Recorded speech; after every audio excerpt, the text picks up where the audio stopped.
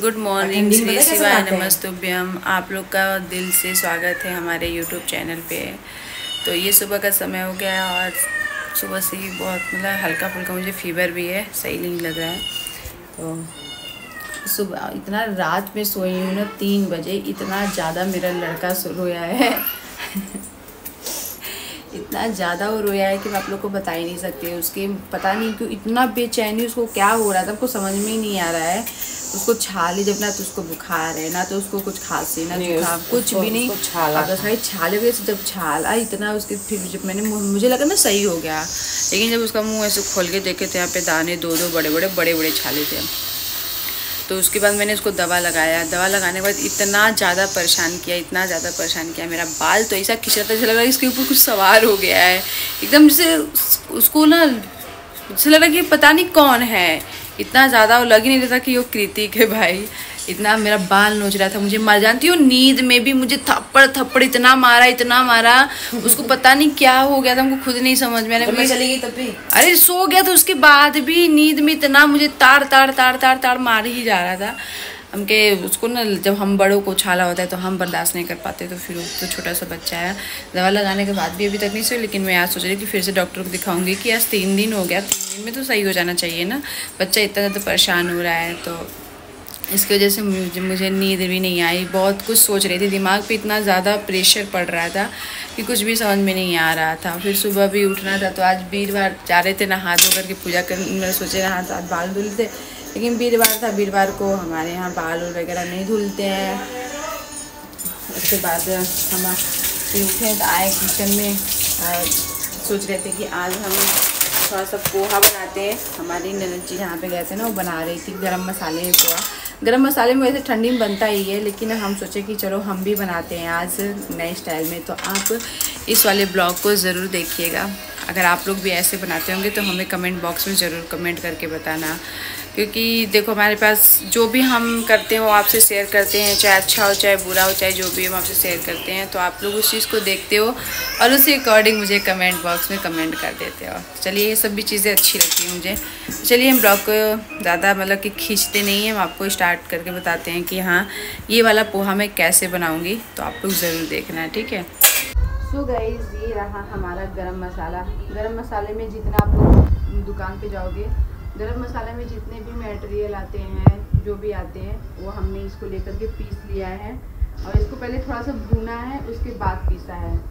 या फिर आपके घर में जैसे छुट्टे मसाले होते हैं ना तो अलग अलग मसाले होते हैं तो आप लोग उसको भी थोड़ा थोड़ा थोड़ा करके सारे मसाले सारे जितने भी गरम मसाले होते हैं, उस गरम मसाले को हल्का सा कढ़ाई में, देखो मैंने कढ़ाई में भूना है, उसके बाद मैंने इसको पीस लिया है।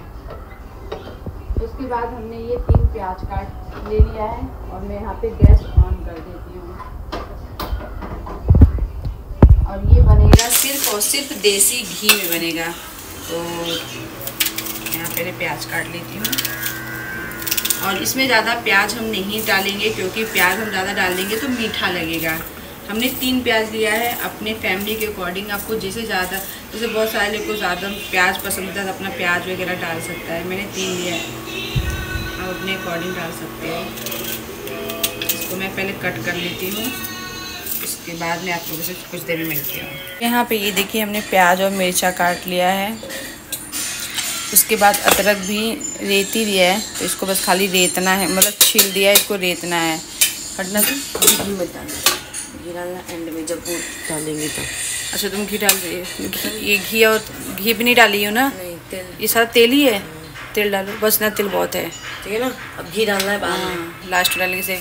यहाँ मैंने रिफाइन थोड़ा सा डाल दिया क्योंकि अगर आपके मेरे पास ना तेल ख़त्म था तो इसलिए मैंने रिफाइन डाल दिया है। तो ये गर्म हो जाता है तो इसमें हम जीरा का देंगे तड़का। ये हमारा तेल गर्म हो गया है तो इतना मैं दे रही हूँ जीरा का तड़का। उसके बाद मैं ये जो प्याज और मिर्चा काटी हूँ ये देख लीजिए। इस प्याज और मिर्चे को डाल देते हैं।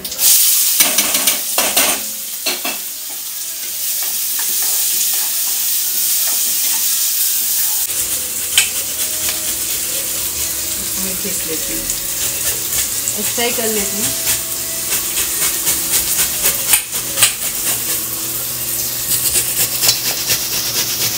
पता है, ये प्रवीण आता है ना कि अगर प्रवीण परिस्थिति से बात नहीं करता ना तो आके मेरे से कंप्लेन करता है। दूध भी नहीं पिया, पता तुम्हें? इतना अदरक डाल देते हैं अभी ज़्यादा हो जाएगा ना। डाल दी भी। मत डालो बहुत ज़्यादा हो जाएगा। और गाइस इसमें ये हमने कड़ी पत्ता ले लिया है तो कड़ी पत्ता भी डाल देते हैं।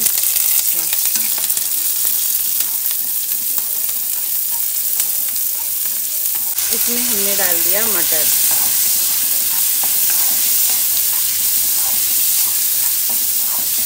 ब्लॉग बन गया? तो इसमें हम थोड़ा सा रत्न डाल दें हम्म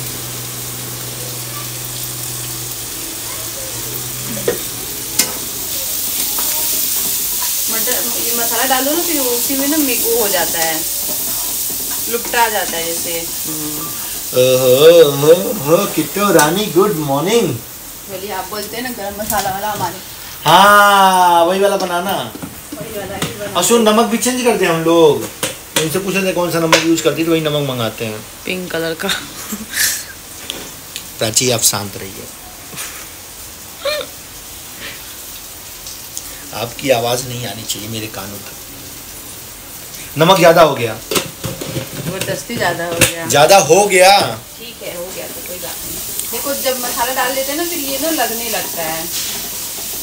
हल्का सा पानी डाल बिल्कुल दो बूंद। इसको हम ढक दिए इसको हम जाने धुल लेते हैं।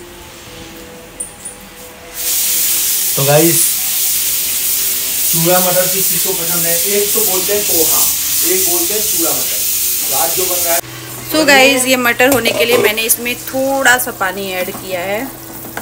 ये अच्छे से पक जाए और इसमें ये हमारे पास धनिया खड़ा नहीं था तो हमारे पास भुना मतलब भून करके और पीस के हुए धनिया था। तो इसमें मैं ये थोड़ा सा ऐड कर लेती हूँ। थोड़ा सा ऐसे देखा तो। प्रवीण आवाज़ बंद। ये भी गरम मसाला में ही आएगा। इतना धनिया सुन लेना एक बार वही डाल रही हो इतना धनिया सही है? धनिया और नमक भी डाल दिया था आप लोगों ने देखा। तो इसको हम रख देते हैं। यहाँ पे हमारा मटर वगैरह सब कुछ हो गया है। इसमें हम डाल देते हैं। अरे अरे अरे अरे अरे। अरे धनिया भी डाल देते हैं।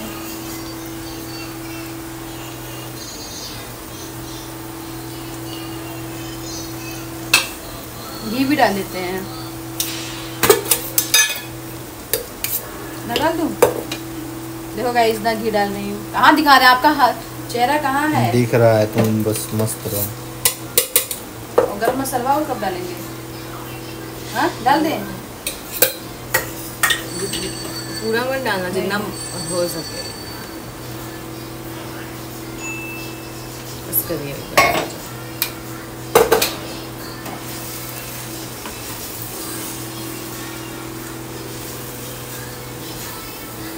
बन गया मेरा टमाटर बन गया मेरा पोहा। ए बलाम जी कमर में बरसानी बा। इसको अच्छे से हम वाह किटवानी बन गया तुम्हारा पोहा? बन गया मेरा चूड़ा मटर बोलते हैं इसको पोहा नहीं बोलते हैं। पोहा वो दूसरा मसाला भी डालते तो वो पोहा हो जाता है। चूड़ा मटर होता है हमारा गाँव ये थोड़ा मसाला डाल दे क्या? तुम कितना एक्सपेरिमेंट करोगी जी? वो भी गरम मसाला था ना। कौन समझाया तुमको? नहीं वो भी था ना इसलिए मैं कह रही हूँ। मसाला कम है क्या? और डाल दीजिए। एक और डाल दीजिए। तुम लोग रह रह करके ना उस पे एक्सपेरिमेंट नहीं है। भुना हुआ मसाला ऐसा नहीं कि वैसा है। भुना हुआ? तेल थोड़ा कम लग रहा है। घी डालो घी अभी मैं डाल लेती बोली कि बहुत ज़्यादा है। अरे हिसाब से डालिए ना जितना कम पड़े तो और डाल दीजिए ऐसे डालिए। क्योंकि घी में ही बनता है ये वाला तो हम लोग तो घी में बनाते हैं। घी में ही तो बना रही थी तो तुम ही बोली कि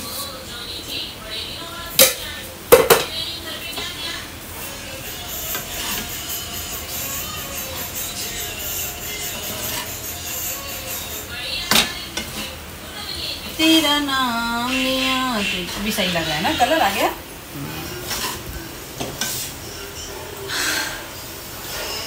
चलाया नहीं, जा रहा है। तेज कर लीजिए आज। तो यहाँ पे हमारा ये पोहा बन के रेडी हो गया है।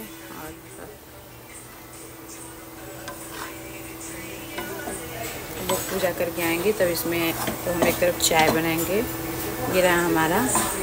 पोहा इसको नहीं बोलेंगे इसको बोलेंगे चूरा मटर वो भी गरम मसाले वाला। यहाँ पे बाबू के लिए दूध गरम कर रहे हैं। यहाँ पे मैंने निकाल पूरा दिया। ये इनके लिए देते हैं खा लें। इनकी आँखों में देखो इनके इनके पति देव ने इनको मारा है। काय मारे ना तो के झूठ बहुत बोला तू। जिसे नु कि बाइक बिस्किट नहीं खाते हैं। दिन भर अभी खाए थे ना आप? दिन में। फ़ोन ही नहीं चालू था। बिस्किट खाबा पूरा मुँह में लगा गिराता है यहाँ से वहाँ लाल लाल काला। यहाँ पे मुँह का धुल दिए सुबह ही। कैसे बना हुआ है? अब थोड़ा कपड़ा वपड़ा चेंज कर यहाँ पे मैं खा रही हूँ। यहाँ पे ये खा रहे हैं वहाँ पे बैठे खा रही हूँ। खा लेते हैं फिर आप लोग से मिलते हैं। टेस्टी है।